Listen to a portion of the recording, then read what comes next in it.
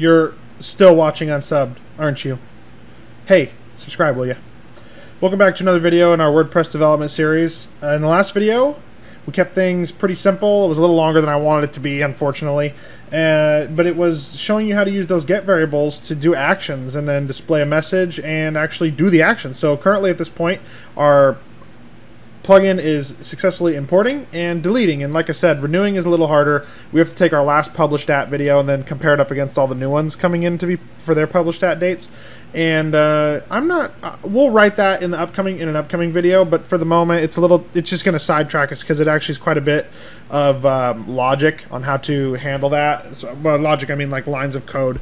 And so we're just going to stick with these two for the moment, and then we'll deal with this one later in this video, let's head back to our settings page because now we have a successful import and a successful delete. So what I want to do is head back to our settings page and I actually want to make these savable variables because at this point, if we do, if we um, if we save the shortcode changes, nothing will actually change. This will work because we have these established in our settings, and I'm going to go right now and show you that. All right, so back over here in our uh, WP10 test admin, let's actually just close this side menu up so you can follow right where I'm at in the includes and in the WP10, this is just the name of your uh, plugin. This is going to have all of your uh, admin hooks. And as you see here, we actually in an earlier video, we created a um, general settings, registering of general settings. And I'm, I know that I could make these the same. I could register them both under the same settings, but just for the sake of this video to show you how to do two separate settings fields, we're going to create two separate settings fields for these. And the way we're going to do that is we're going to do a very similar copy to what we had already built. Meaning we're going to take this line right here, and we're going to copy it, and we're just going to paste it. Get a little lazy on it. We could actually do, you know, we could do whatever, but we're going to do, we're going to hook the admin init function, and we're going to do register WP10 short. I'm just going to call this short code settings. Okay? And now we have a new we need to make a function for this inside of this file if you, or not inside here, I'm sorry, in the admin because it's calling to the plugin admin class. So we need to take this, head to our plugin admin class. Now that is in the admin and then right here. And then if we scroll down where I set my last one, you're going to see we have a general settings function right here, register the menu and submenu uh, items for the area, but it also has the uh, let's see. Actually, this this commenting was wrong anyway. Needed to be the settings areas, but it doesn't really matter. We're going to say another public function, and I just copied that to paste it. And we're going to open up a new function. And we're going to say register the shortcode settings. All right, now this is pretty simple, right? Uh, we have to go over back to our um, settings callback page, and we have to do similar to what's happening here. Uh, the action is options.php. This is built into WordPress. It's a WordPress built-in feature that will save your settings um, so you can use the get option and set option for these settings later. And so down here in our other form, you see we have just a basic form right here. We need to kind of do something similar. So we need to create a method and the method needs to be a post type method. And then we need to create the action and we need to make the action equal to um, options.php. So now this form is going to do the right thing. It's going to go to the options.php. And we already did give them proper names. And we're going to go ahead and do the get option outputs once we have these established as well. We'll do that in just a minute. But at the moment, what we need to do is we need to kind of copy both of these here. And we need to paste them in down here. We have to open them up in uh, their own PHP. Let's see about this. All right. So now we kind of have those set up. Now this is not WP10 custom settings. Uh, this is not what it is called. If you look in our um, register settings, that's because it's the registering the setting. We're going to actually change this. This is going to be uh, register setting. We could actually take this from above, but in this case I'm just going to just write it myself. Now we are ready to create a couple of variables. All right, so the first thing is we're going to figure out what we want to call this. We're going to call this WP10 shortcode settings. And then what we're going to call this one is whatever we want to call it in the database. And uh, it was number to display. If you go back to the callback page, it's actually the Y post count. It's the number of videos to show. And in this case, let's just call it Y post uh, count. Maybe? Yeah, that's good. or why post count show. I want to make it something slightly different than the title in the database. And then let's copy this and paste it again. And the second one, let's call it, this one is the um, video style type. Let's just call this Y output style. Okay? So those are our variables that we're now going to have. You know what? Um, I don't think we actually. I think they need to be named the same. Upon further just thinking about it to myself, I was like, wait a second. You know what? I think they need to be named the same in this particular case. So we're going to name those the same. All right, perfect. So that's kind of what we want to do here is just name those the same like that. And that's going to set up our WP10 shortcode settings. And then we need to come back here and we need to tell it that inside of the set settings in the do settings sections. So now we have its own separate setting sections um, set up. And this is the type submit button. Technically at this point it should work. So let's head back to our settings. Let's change this to 2 or like 5 and save the shortcode. Alright. Now it's not going to display 5. Well, we both know why that's happening. That's because the value needs to be equal to the get option. And we can do that just like this. We can pull a PHP. And this is also going to let us know if this field is saving properly. And we're just going to say get option. And then we're going to just space it out. And what did we call it? We called it Y post count. Let's do a refresh. Right, there it is. All right, perfect. So now the selected item inside of a selected item box is a little more tricky for determining what the user has set. What we could do to determine that is we could actually, uh, we have to actually make it selected. We have to say if, uh, this is an inline statement for PHP. It has to say if the get option is equal to this, then we need to put this as selected.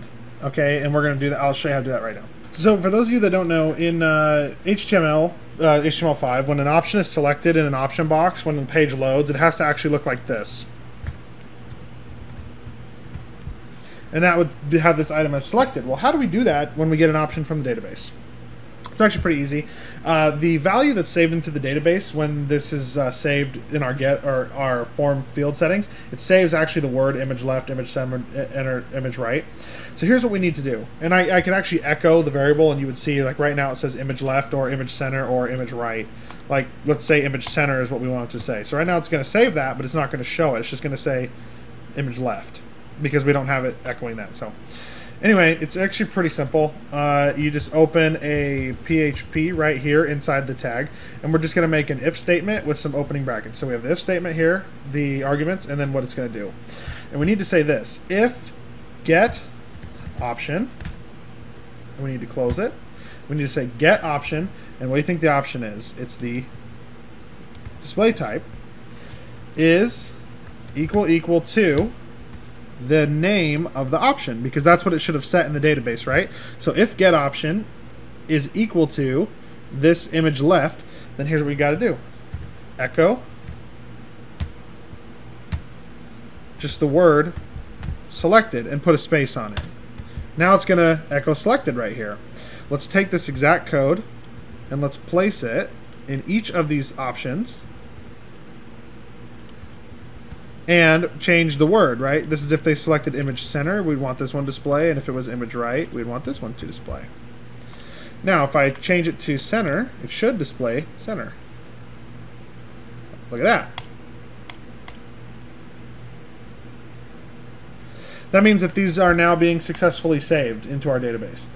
And so how would you actually go about adding more video or more variables. Like say you wanted to add, um, do you want your titles to be omitted? Yes or no? Do you want your video descriptions to be a certain character length? Do you want to use high or low res images? Do you want to use a light box to display it? Do you want to blah blah blah? You can do whatever you wanted, and then we're I'll show you how you can change it at your shortcode. The last thing we're to do in this video is establish our shortcode because we need to actually make this shortcode right here in order for the videos to display and for these functions to work. But as, as of right now, now all of our options pages are working. We're using two different settings fields, which is fine. But if you wanted to add more settings, obviously, you need just to add more form group items, go back to your administrative page, register that setting right here by adding a new setting, and then you're all good to go. And now you can add unlimited settings, then we can use them in our shortcode output. So now let's go ahead and add the shortcode. So in an earlier video in the series, I showed you the code necessary for adding uh, shortcode calls to your plugin. Um, it's actually kind of a little bit complicated. There's a couple different areas that you have to uh, go to in order to do this. Um, starting with if you're inside your includes folder, you have to go to your loader, and then you have to add some shortcode parameters like this code here and uh, this code here, which are um, registering actions filters and registering shortcodes with your um, WordPress installation. There's a, you can go back and refer to that video, and that allows us to do something much simpler, which is back in our uh, includes plugin name, you're gonna if you go up, you'll see under define public hooks. If it's a publicly accessed shortcode, we can actually just register short shortcodes just like this. And in this one, we kind of have uh, an example one I left. We're actually going to add a new one. Add shortcode for WordPress or for our plugin. Now we're going to just do the copy and paste from the line above that I already wrote from our earlier video. WP Shorty 1, that's not what we're going to call it. Um, we're actually going to call it something different. Alright, WP10 Shorty 1, and then that's actually what, what it's going to call to. And uh, inside of our public folder in our public file, if you scroll down, you'll see that it's calling WP10 Shorty example. That's the actual callback function it's, it's referring to. So in our case, we're going to call this WP10 vids out and then we're going to say WP10, that's the short code, WP10 vid, let's just call this display. And then what we're going to do is copy this, and we need to go to our public. I just showed you where that was in your public. And then we're going to drop down this bar, and we're going to say output video shortcode function.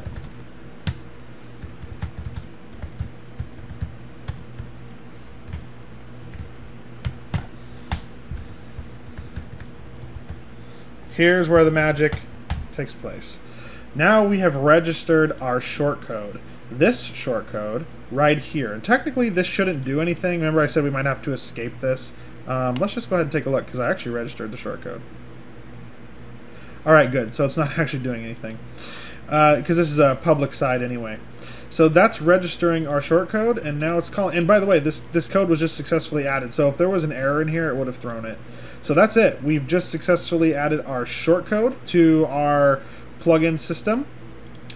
We, uh, let's see, this is our administrative. We don't need anything in here. This is where we just added our settings. And then we now are going to write our function right here. So our callback is working properly for our settings page. Our importer call is working properly for our import. And now we are basically on to our output of our custom function in our public for the when we go to the front end and apply our short code. So that's really where I think I'm going to end this video. Uh, like I said, if we had had any problems or any errors with it, it would have thrown an error in the in the WordPress. It wouldn't have let us move forward. And so at this point, guys, everything's functional. We can import videos up to five. We can go change that count. And also, I would probably um, change that in the settings here. I would probably add a new setting here for how many you want to import. It'd be really easy to do.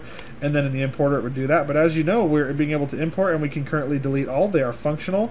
And then in our settings, we can actually save our number of videos to display and our, um, our type, our display type, as well as our YouTube API and our channel we're pulling from. We can just change our channel ID to pull from whatever channel we want. So like I said, that's where I'm going to go ahead and end it uh, because our next video is actually going to be, guess what, writing our shortcode to actually display these videos out. And then like I said, you can customize it however you see fit. You can make it so it takes away titles, so you can, I mean, all kinds of stuff. And we'll probably even work on it to do all kinds of stuff together just to give you more examples. But that's going to wrap us up. Like I say in the beginning of every video, hey, if you're not subscribed, subscribe, will you?